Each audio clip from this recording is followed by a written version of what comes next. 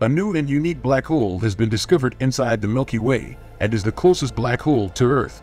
The Gemini North Telescope, operated by NSF's NOIRLab, spotted the stellar mass that is a mere 1600 light years away.